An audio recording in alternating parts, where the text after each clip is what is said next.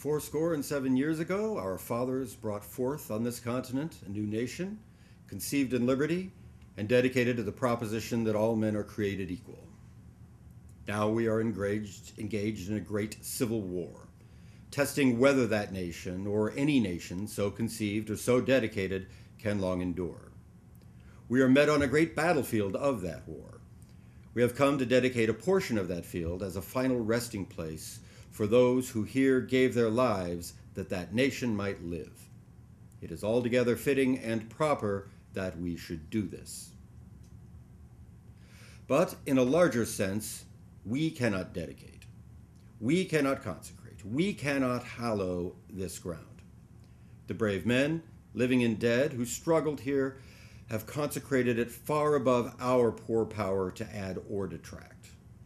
The world will little note nor long remember what we say here, but it can never forget what they did here. It is for us, the living, rather, to be dedicated here to the unfinished work which they who fought here have thus far so nobly advanced. It is rather for us to be here dedicated to the great task remaining before us. That from these honored dead we take increased devotion to that cause for which they gave the last full measure of devotion. That we here highly resolve that these dead shall not have died in vain, that this nation, under God, shall have a new birth of freedom, and that government of the people by the people and for the people shall not perish from the earth. Welcome to Abraham Lincoln Bookshop in Chicago. I am Bjorn Skaptason, and this is virtual book signing. Probably recognized those few appropriate remarks. Uh, this is our, we think of this as our Gettysburg Address sesquicentennial uh, commemorative show. Uh, the actual sesquicentennial was the 19th of November, and we were in Gettysburg for that, so we couldn't bring you a show on that day. We have two great authors here tonight. One of the books is more specifically about the Gettysburg Address than the other, but both of the books look at, uh, in some in some way, at Lincoln and his great words and his great world view, and how that, uh, in some ways, how the Gettysburg Address is featured in that. Two great authors tonight and two great books. Uh, let's talk about the books first. And Kevin Peraino is here with Lincoln in the World, The Making of a Statesman and the Dawn of American Power. It's from Random, published by Random House, 432 pages, and it's $26. Jared Peatman is here to discuss The Long Shadow of Lincoln's Gettysburg Address, published by Southern Illinois University Press. It is 238 pages and costs $34.50. If at any time during the program tonight you want to send in a question, uh, you'll see your interface there. You can send us an instant message. You can send us a question, and the authors will answer it for you. Please include your name in your instant message, in your text message, because it does not automatically come through. If you wish to order a book, or two, or three, or four, it's the holidays.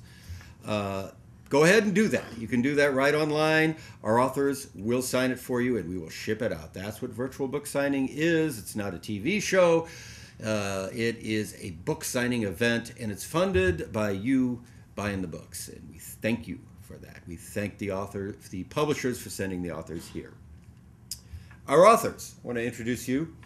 Kevin Peraino is a veteran foreign correspondent who has reported throughout the world uh, spent a decade at Newsweek um, and uh, working for another virtual book signing author, Jon Meacham, part of the time. Uh, was a senior writer and bureau chief in the Middle East. Uh, he was a finalist for the Livingston Award for his foreign affairs reporting and was a part of the team that won the National Magazine Award for its coverage of the 2004 presidential campaign. Congratulations for that. Um, Kevin is a graduate of Northwestern University here in Evanston, uh, north of here in Evanston. uh, and a term member of the Council on Foreign Relations. He lives in Connecticut with his wife and uh, children. And in a minute, I want to ask you a question here, uh, Kevin, but I want to introduce Jared Peatman first. Um, Jared is a 2002 graduate of Gettysburg College, has a master's degree from Virginia Tech and a PhD from Texas A&M. Was awarded the 2009 Organization of American Historians and Abraham, Lincoln Bicentennial Commission Doctoral Fellow for his uh, uh, recently completed, recently published dissertation on the Gettysburg Address. Uh, written Civil War articles, uh, written about Daniel Sickles in the shaping of President Lincoln's early perceptions of the Battle of Gettysburg. Since 2009, Jared has served as a lead historian for leadership events hosted by the Administrative Office of the U.S. Courts and Partnership for Public Service.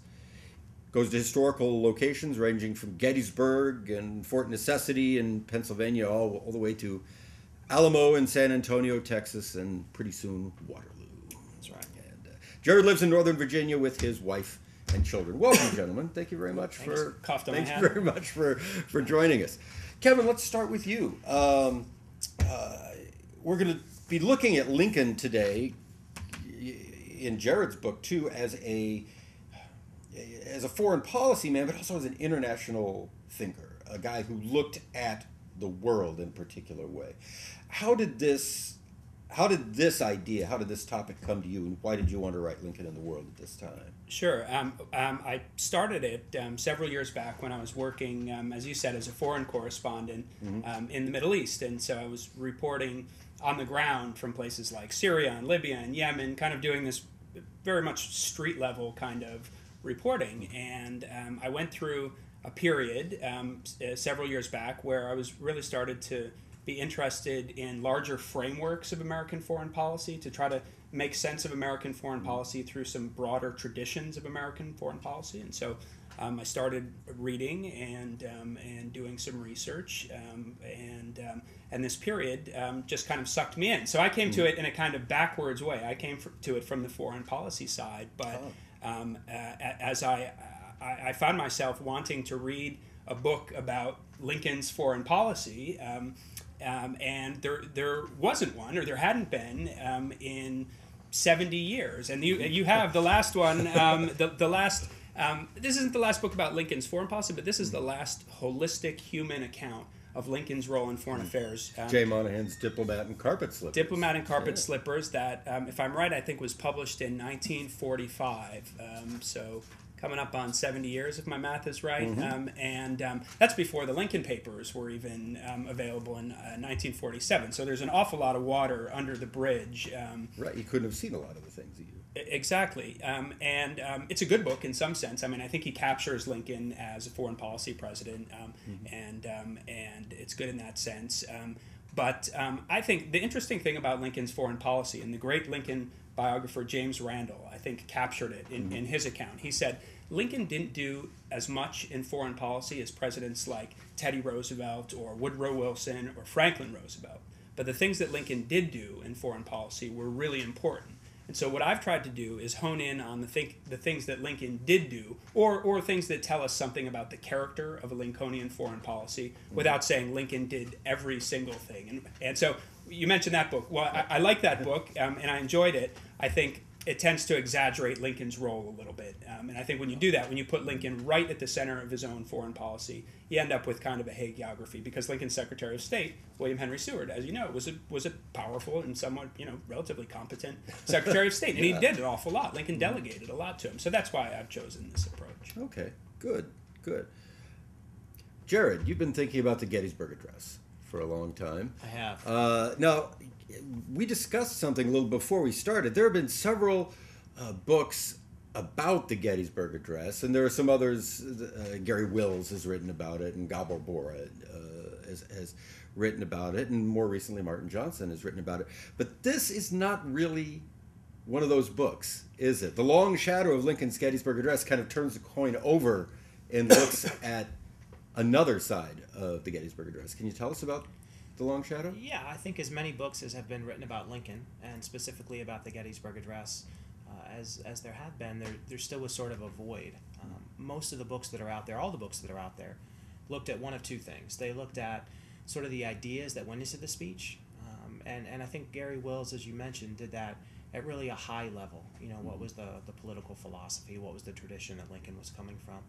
They looked at the words that went into the speech. A. E. Elmore did a really good job with that a few years ago, looking at uh, the Bible and the the Book of Common Prayers influences. Martin Johnson's new book looks at the mechanical process of writing the speech um, mm-hmm. and and literally tries to figure out the timeline of when he actually wrote the thing mm-hmm. and they're all very interesting there uh, another set of books Gabor Boritt you mentioned uh, Louis Warren's from 1964 they look at what happened in Gettysburg you know mm-hmm. kind of the invitation the crowds and all those things um, but I don't think anybody has looked at the the long-term uses of the speech until now. Uh, people usually talk about the responses to the speech in a few pages, mm-hmm. you know, and there are a handful of accounts that everybody cites. The the Chicago seems how we're in Chicago. The Chicago Times is is one of the best ones. You know, they they really slam the president. Um, but sort of looking at the long term responses and uses to which the speech has been put is something that just hasn't been done before. So, for example, um, I would wager that, that not many people know that the, the current French Constitution is based on the Gettysburg Address It says right at the bottom of the first page the principle of this document is a government of the people, by the people, and for the people. Perhaps even more surprising, uh, the Chinese, I guess we could call it a constitution of 1912, mm-hmm. uh, the, the document Sun Yat sen authored called the Three People's Principles, is also based on the Gettysburg Address. Those are still the ruling principles that are adhered to in Taiwan today.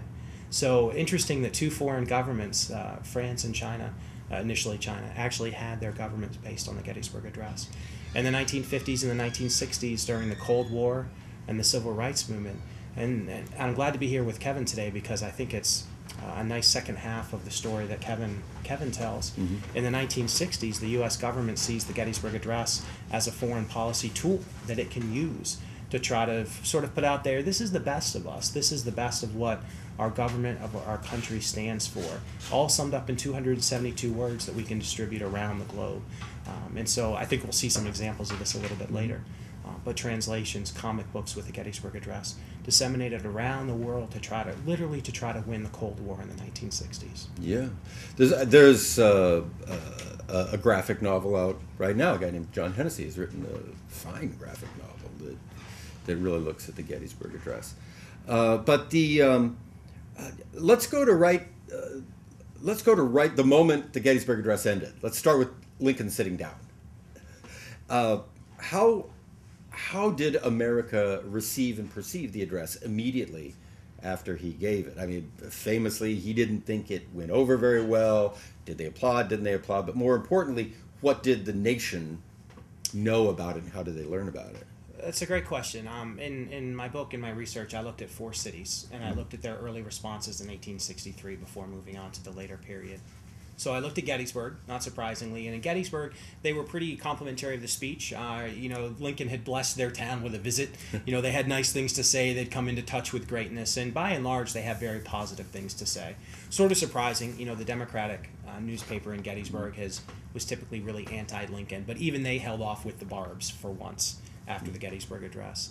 Um, New York, it's a little different because in New York, which is incredibly important for national news reporting. What comes out of New York will dominate uh, pretty much everything throughout the, the North at that time. In New York, it's much more mixed. The interesting thing in my mind is that in New York, they find other speeches to be of more, uh, demand more attention in 1863. So William Seward um, has said some things that they're not thrilled about. Edward Everett has said some things in his speech that they're not thrilled about. Mm-hmm. And they find those things to be of more immediate a comment than what Abraham Lincoln had to say. You know, this old rivalry between Boston and New York goes back a long time. Mm-hmm. And most of the New York papers spend the, the bulk of their speech criticizing Edward Everett. They say that he's from Boasting, Massachusetts. Uh, and they're pointing out that in his speech, Edward Everett had really privileged the role of Massachusetts men in the battle and had had downplayed the role of New Yorkers in the battle. So right early on, you know, you start to you see it's really regional. I think the most interesting is in Richmond, and in Richmond, I argue the, the five daily newspapers in Richmond will censor the Gettysburg Address. And there's a very simple reason why. If you look at that first line, Lincoln has invoked mm-hmm. the Declaration of Independence. He said, All men are created equal. Now, if you live in the Confederate South and you're a Confederate newspaper editor, you can't agree with that. But at the same time, how do you shoot it down? Those words were written by Thomas Jefferson, who's a Virginian. so Lincoln is, I don't know if he did it intentionally or not, but Lincoln has created this interesting little trap.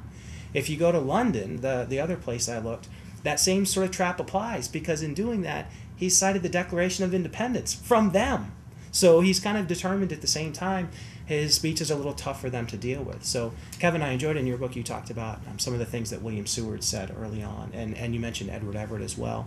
Some of their comments about embroiling um, perhaps Great Britain in a war to try to bring the two sections of the country back together.